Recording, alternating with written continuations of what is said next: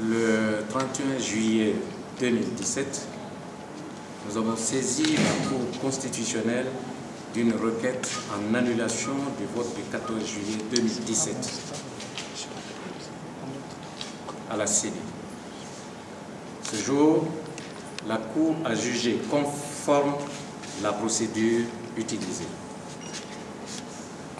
Nous prenons acte de la décision de la Cour constitutionnelle intervenue ce lundi 14 août 2017, confirmant M. Amadou Salif Kébé comme président de la CENI.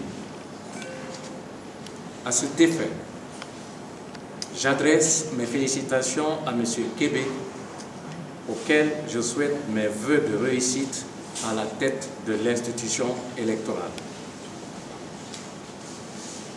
Je remercie tout le personnel de la CENI qui a œuvré à nos côtés durant ces années pour relever les défis liés à l'organisation des différentes élections. Nos remerciements vont également aux populations guinéennes qui nous ont apporté leur soutien nécessaire ainsi que leur confiance. Nous remercions l'ensemble des acteurs de la classe politique et les organisations de la société civile pour leur soutien tout au long de ces années difficiles. Il en est de même pour l'ensemble des acteurs médiatiques et les partenaires techniques et financiers. Nous remercions tout particulièrement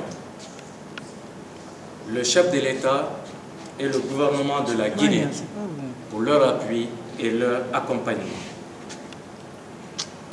Nous renouvelons notre gratitude à Dieu, le Tout-Puissant, et implorons sa grâce et sa miséricorde. Je vous remercie.